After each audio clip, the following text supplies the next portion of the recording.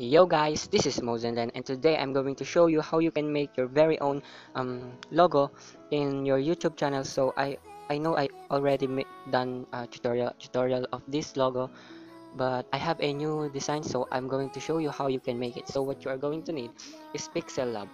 So the link is in the description so you can download it. So first what you are going to need is click this button right over here and then make uh, put your text so I'm going to put a M because that is the first letter of my YouTube channel name and then click that A button and then go to the font font just like that. Click that and then you have a very many fonts in here but I have my fonts in here so I'm going to use this now so I'll find I'll find my font guys so I'll be back. So now guys I have my very own font so now what you're going to need is click this size button and then make it like like that. So you can resize it just like that and then click this check button right over there. And to make it 3d so you can just click that and then enable just like that and then click that plus button and then you can rotate it just like that so just like that and then this be created guys. So that's pretty much it. So now click this that color button so i'm going to make it like blue. Yes just like that. So let's go to the next step. So guys i forgot on how you can save it. So first what you are going to need is click this button right over here and then transparent and then click this button right over here and then import image so just like that. And then make sure to click this button and then make it png and then save to gallery. So guys for the next step is what you are going to need is adobe photoshop touch. So the link is in the description so you can download it. So what you're going to need is make a blank document and then make it like 500 500 by 500 and then click that ok button. So this will be pop up in your screen.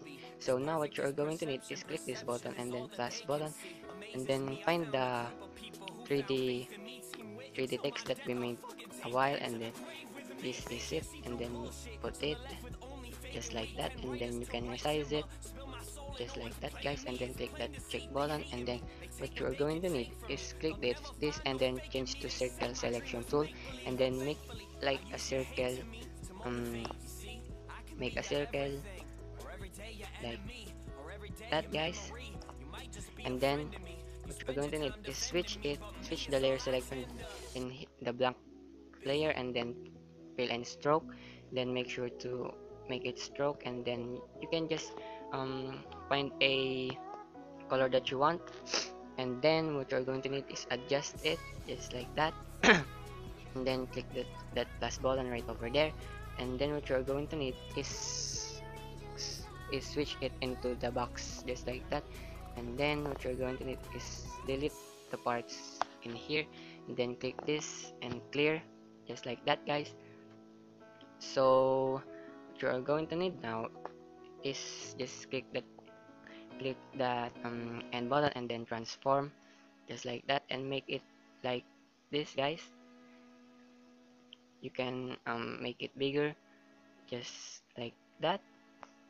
Yeah so click the check button and then what you are going to need is switch the um, circle layers to the up just like that. And then what you are going to need now is just erase this um, part of the the um, circle and then click this button and then clear just like that guys. So make the circle in here just like the Mm.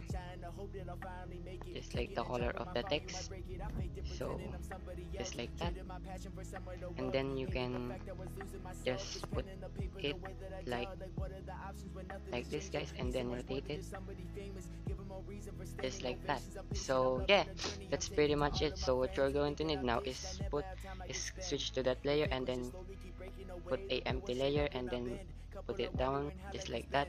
Then put your like um like background so I'm going to use black so yes that's just like that guys.